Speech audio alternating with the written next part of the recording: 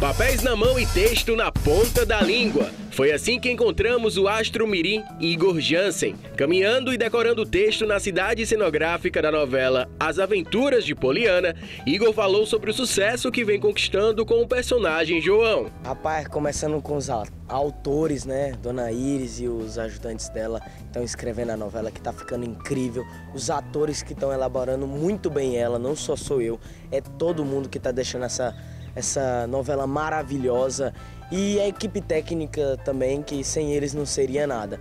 E a repercussão lá no Ceará é a maior audiência do Brasil. E eu quero agradecer a todo mundo é, pelo fato de eu ter saído de lá, né? Eu acho que, eu acho que ajuda um pouquinho mas a gente representa o Nordeste muito bem. Eu quero agradecer a todo mundo. Nas redes sociais, o ator é um fenômeno e agradeceu aos fãs por todo o carinho. A rede social é só uma reflexão do que está acontecendo agora na novela, né?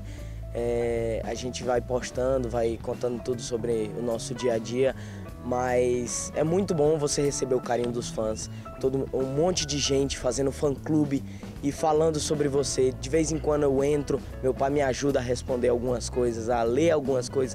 Não é tudo que eu leio, lógico, é muita coisa, mas isso mostra se a gente está fazendo um trabalho bom, se a gente está conseguindo efetuar o que o povo está gostando e, gente, muito obrigado. É, muita gente criando novos fã-clubes e repostando sobre mim.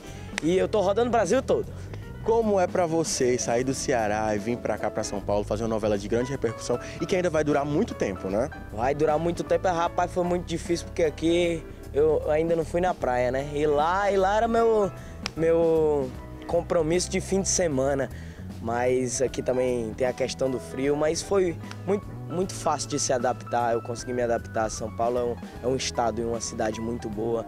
Me conta um pouquinho como é o teu dia a dia, como é que acontece? Você vem aqui que horas, você estuda que horas, então conta pra mim. A gente te encontrou aqui na, na cidade cenográfica, sim, sim. né? Eu ia gravar e vocês me encontraram, agora a gente tá batendo papo. Eu acordo de manhã cedinho, vou pra escola, aí saio da escola, chego aqui uma hora, é, almoço e vou começar a gravar duas horas. De vez em quando tem muita cena, de vez em quando não tem tanta cena. Aí eu decoro os textos, faço a minha ceninha. Pode, é, só podemos gravar até 9 horas. Quando acaba o dia eu vou para casa, estudo, faço minhas tarefas e aí recomeça tudo de novo. Uma pausa na entrevista e o nosso astro fez questão de apresentar um de seus lugares preferidos da cidade cenográfica. E, e a parte onde eu mais gosto da, daqui da comunidade é essa sinuquinha aqui, ó. A gente vai gravar, coloca a figuração jogando sinuca. É. Geralmente eu gravo nesse beco. Aí eu jogo sinuca também com eles, é massa. Você grava muito aqui? Gravava muito antes. Na, na primeira parte. Era da, de rua e tal. Mas eu continuo gravando meio que. que muito, porque tem umas cenas que, que ainda vai acontecer que eu quero que vocês vejam, viu? Deixa de assistir que ainda vai ter muita aventura.